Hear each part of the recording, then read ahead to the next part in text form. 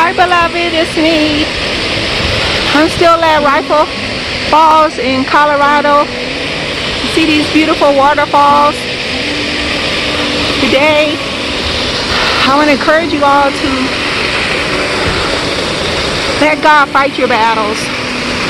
How do we let God fight our battles? We pray for others and are quick to forgive. And let the matter go to trouble, whatever they cause.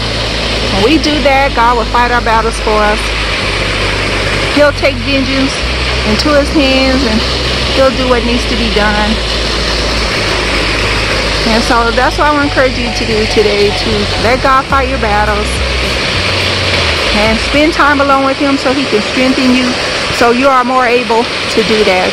That's what I'm doing. I'm out here doing my spiritual boot camp, getting some much needed exercise,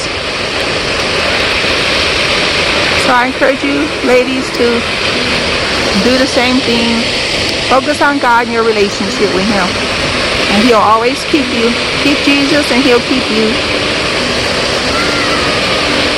Isn't it beautiful here? This is Rifle Falls. This is so nice. I just love it here. Love it, love it. It's beautiful. It's my first time here. But I come to Colorado every few years. That's one reason.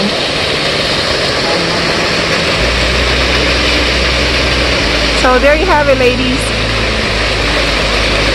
Go to my website, territemple.org, and you'll find more resources to being a Christian, faithful Christian, and a godly woman. God bless you and keep you. Chat with you later. Bye-bye.